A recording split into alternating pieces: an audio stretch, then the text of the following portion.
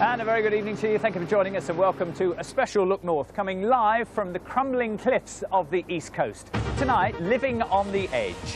What happens when coastal erosion takes away your home?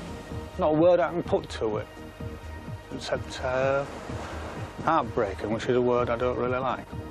Sacrifice to the sea, how flooding parts of our coast could save us all from rising sea levels. And we're live in a helicopter with this crumbling coast to get a unique look at what the future holds for this fragile environment. You were lucky it dried up just in time. What did I say on Friday? Cloudy, wet and windy. Another successful Yeah, forecast. whatever. I'll be back, of course, with a detailed five-day forecast and I'll be taking a look at what rising sea levels mean to our east coast. Join us both in a few moments.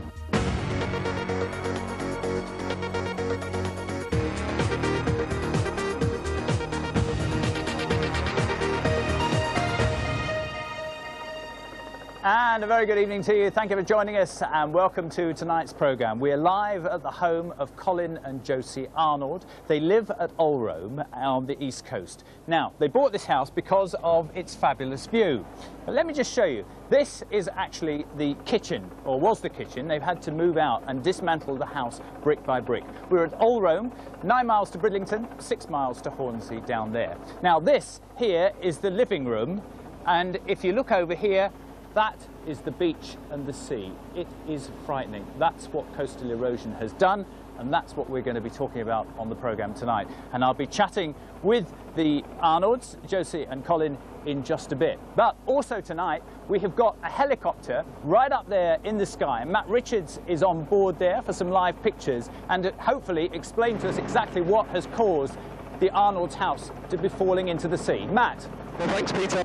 You can see uh, this what a fantastic evening to be flying about on a helicopter like this. Now, as we know, the East Yorkshire coast is one of the fastest eroding coastlines in Europe. 1.8 metres each is now. And it's a complicated process, but you can see the dominant wave coming from the northeast. Now these are attacking the base of the cliffs, and you can see down there the brown colour. That's the uh, that's the mud that makes up these cliffs that's being washed away. Now, you hear that the happen evenly. It looks like big bites have been taken out of the cliff, and that's where the landslide. And it was one of those landslides just before Easter that finally sealed the fate for Josie and Colin's home that we can see below us now. Here's their story. They're demolishing their home brick by brick. But how did Josephine and Colin Arnold's dream retreat by the sea turn into this, an eroding nightmare? I've spent the last few months following this couple who've been quite literally living on the edge. It did have a lot of character, it was lovely. And all the family used to come every weekend and we'd have dinner all together and that, and it was smashing. The field, we had tents on and camper vans, and we opened a little restaurant in the barn. That was 19 years ago, but ever since then the sea and the cliff edge have been getting closer. It just disintegrated rapidly. After five years, the camping field was useless. You couldn't turn a car around on it anymore. The Arnolds say the erosion here has been accelerated because of private sea defences either side of their home, but it still looked like they had a few years left. That was until this night in March. Colin filmed the moment a storm took 10 feet off the cliff and left their home hanging over the edge. It was quite frightening, really, because it was coming right over the top of the bungalow that we're in. And there was bricks and rubble and boulders on top of that as well. It went right over onto the road. It was the final straw. The house had to come down before nature dragged it all onto the beach. Not a word I can put to it, except uh, heartbreaking, which is a word I don't really like. Get rid of all this brickwork. Hopefully, it will resemble something again, but it's going to be difficult. I just think of all the happy times we had here. Yes. I just try not to think about it at all. It's taken them six weeks of non-stop effort to demolish this home, all of it having to be done by hand as the cliff top makes it too dangerous for any machinery. Cobbles that way, bricks that way. Every time I visited, it was clear exhaustion was taking its toll. I'm about done for. but tomorrow will be the last one. This will go. And that'll be it. Nothing else to knock down. Just tidy up. That'll be good. That'll be good. So Cliff Farm may have been demolished, but Josie and Colin aren't moving. They're determined to stay in their caravan, and their old home has become their garden. We've left the front of the house there. We even lock the door at night. And that's because if this is a nightmare, one day I'll open that door and it'll all be back as it was. The place has completely changed. It'll never, obviously, never be the same again. But we'll try and make the best of what we've got. Well, as far as this place is concerned, uh, it's all in the hands of that lot out there. Well, it is an extraordinary story. We're live here at Ulrome tonight, and Colin and Josie are with me now. Um, we heard there in that film, you're determined not to go. No, we're not going to go anywhere. No, no, we're going to stay here. As long as there's enough room for a motorhome, we'll stay here. Has the whole thing been really traumatic and upsetting? Because to see the house like that, and you know, I've just walked in there. I mean, you were living in it, uh, you know, a while back, and now, Yeah. you know, it's just Just seven weeks ago we were living in it. It's just, uh, well, it's heartbreaking. You're literally taking the place to pieces. So upsetting, though, to sit and watch your home actually disappearing, you know, week by week. Yes, yes. We expected it to go at some time, but not yet. And I gather that when you're in the house, when you were in this house before you had to move out, sometimes when the sea would bash the wall here, the whole house would shake. Yeah, when it bounces off the sea defences to the north of us, the house just jumped and it cracked it so badly, which was one of the reasons we had to take it down. I mean, I'm not being funny, but how, when you're in that bedroom up there, right on, right on the edge of this lot, how do you sleep? Oh, you just do, you know. Yeah. It's- I don't it's think I would. Yeah, you would. Do you think so? yeah, yeah. A lot of people would like to live here. You know, it's it's, It's a fabulous spot, wonderful, though, isn't it? What about those people? And there are people who say, well, y- you know, these people who buy their house on the cliff edge, they know that it's, it, it, you know, it's going to fall into the sea. Yes, yes, we knew. When we bought it, it was a house on a naturally eroding cliff and had sea defences built on both sides of us. So it's exaggerated the problem. And all these sea defences they talked about, I mean, 20 years ago they were talking about a rubber ledge down here, weren't they, to stop the sea coming in? Nothing has been done. No, nothing has been done. No, no. I mean, you, you can't build sea defences unless you're going to build them all the way down the coast. You can't do this to people. You know, it's just it's not fair. Okay. No. Well, stay with us for a bit because we're going to be talking to a minister in a moment to find out about the subject of uh, compensation. Josie Colin, for the moment, thank you very much indeed. And thank you for being there. Let's go back now to the helicopter in the sky to Matt to uh, find out what he's up to right now because it's not just the Arnolds who are at risk. Matt. Not at all, Peter. No, uh, from here we can get a very clear look at the caravan parks that uh, that line the way along here. Anything easier for them, they can do a rollback. That means they can, put simply, it means I suppose they can move the caravans away from the sea. But of course, you can't do that with a house. Now, there was a recent report, and it's quite clear here, just at the top of your picture now, you can see some more homes that are in a similar position. So along this Holderness coast, from Flandre in the north down to Spurn in the south, they found that over the next 50 years, almost families will be in the same position as Josie and from us in a minute. Back to you, Peter.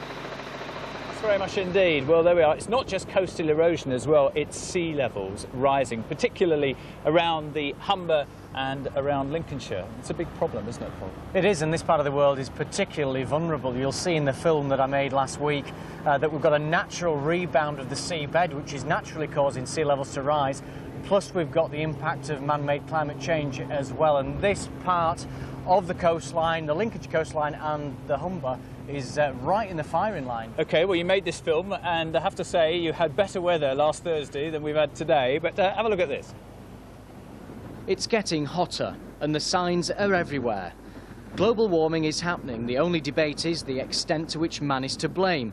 But there's no argument at all about what it all means. According to scientists, sea levels here on the Humber are already on the rise. As the Earth warms up, so does the water, and that causes a thermal expansion. And as you can see, the sea rises and there's nowhere for the water to go. And when you add in the impact of the melting of the polar ice caps, you can see that it's going to be a very serious problem indeed. And one that will affect millions. A third of us live within 10 kilometres of the coast. It's estimated that every year the sea is rising by about six millimetres. And by the end of the century, we're looking at increases of anything up to a metre. Here at the Deep, they've got a rising sea level simulator, and as I turn this wheel, it gives an idea of just how vulnerable this part of the world is to rising sea levels in a relatively short space of time.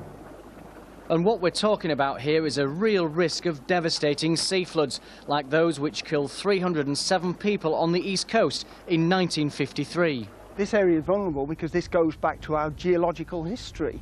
This area is it's low lying, but at the same time it's sinking because of the last ice age. Scotland is coming up. The east of England and southeast of England is, is sinking. So that combined with sea level rise means we get doubly hit. We get the sea levels coming up, the land going down. We're on our way now to Read's Island in the Humber to see how climate change is already affecting the natural environment. Last year, 200 pairs of avocets nested here, but not anymore. Changes to the level of the Humber have helped push out one of Britain's rarest birds. There's been some quite major changes, really. The lagoon walls and all the edge of the, the, the, the site have just washed away. And then, of course, we'd have been standing in a deep water lagoon here, and that's just disappeared. In the future, the whole island will disappear. No one knows what else will be lost with it. The changes are going to be so massive as that no one's really sure at all how we're going to cope. We can try and create new habitats for the birds, but we're not quite sure whether they'll use them, the same birds will use them, or whether the birds will be there at all to use them. Such uncertainty has called for a brand new approach. Where once we built sea defences to keep the water out, now the scientists tell us that in some places we have to welcome it in. We're following a new approach now called making space for water, uh, allowing the, the rivers and the estuaries to spread out over areas that were formerly defended to try to counteract the effects of sea level rise.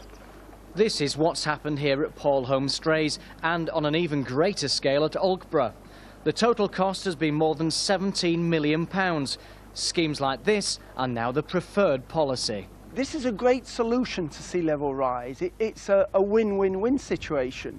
By having this here, we've got somewhere for the water to go, so we don't have to build the dikes as high. It's a win on public safety, so Hull doesn't flood. Third of a million people getting wet, so that's the second win. And then third win, as you can see around here, it's a win for wildlife. Keeping a static coastline is not a battle that can be won because the coast has always changed. The main challenge we face is to manage rising sea levels in a way that suits wildlife and man alike. And of course, Paul will have the full forecast uh, live from here at Ulrome in just a few minutes' time. Well, the problem of rising sea levels, let's turn to, to, Lincolnshire. And there, of course, they have rising sea level problems as well. To make it even more complicated, there, the land, the farming land, the agricultural land is so good. Hannah Moffat can explain this story. 300 years ago, this is how the fenlands looked, waterlogged and unusable. But draining this area has turned it into some of the most valuable agricultural land in the country. In Roman times, the, the sea would have about come up to that hedge. So this would have been um, really on the edge of the sea, um, silty dunes that have created this wonderful soil today. Well, this, this is a very fertile area that, um, uh, that supplies about approximately 40% of the, the, the food for this country. Tony Gent and Robert Caldwell are Fenland farmers working top grade land to produce wheat, rapeseed oil and a variety of vegetables. For years they've relied on these drainage pumps to make sure their land stays dry. But for them and many other lowland farmers, the future isn't as cut and dry. Global warming poses a real threat. I think sea level rise is one of the most important things that farmers have to concern themselves, especially when they're farming, as we are, right on the frontage of the coast. Even for those farming 15 miles from the sea, the threat is still concerning. Water also comes down the river, so it can ingress inland quite a long way. The battle between sea and land is very real for Fenland farmers. The problems may not be imminent, but the risks aren't worth taking. It's not something that I think in the next couple of decades that we need to be taking panic action, but we do need to plan now and make sure that we've got a sustainable future, that we don't start to think about it in 20 or 30 years' time. We have to start thinking about it now. Hannah Moffat reporting there from Lincolnshire on the problems down there with the land and sea levels. Well, joining me now is the Minister for the Environment and Climate Change, Ian Pearson. Um, Ian, can you tell me why can't these people, I mean, it is an act of nature, why can't they have some sort of compensation? Well, the policy of successive governments over the years has been that there's no right to compensation. So this would be a completely new and novel departure. Now, East Riding Council have asked you specifically to look at the subject of compensation. Can I ask you tonight, will you do that? Well, I've said that I'm happy to meet the, the local Member of Parliament and a delegation from uh, the local authority about this. Um, but as I say, uh, we really face a situation where when you look at the East Riding coast, um, we've funded sea defences in areas like Withernsea very recently, but we can't put up concrete walls right around the United Kingdom. That doesn't make sense. We've got some work going on looking at uh, different